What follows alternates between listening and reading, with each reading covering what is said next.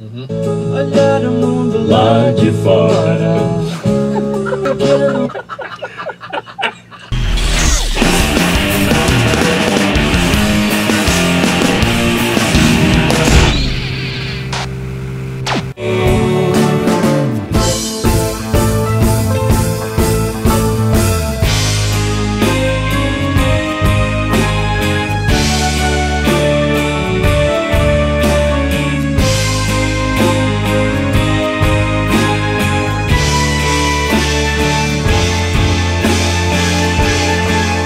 Foi que eu falei pra esse cavalo aí. Não, Não, ô, ô, ô, ô, o urso tá falando aqui, meu irmão. Ele vai te cortar logo, dá um tempo.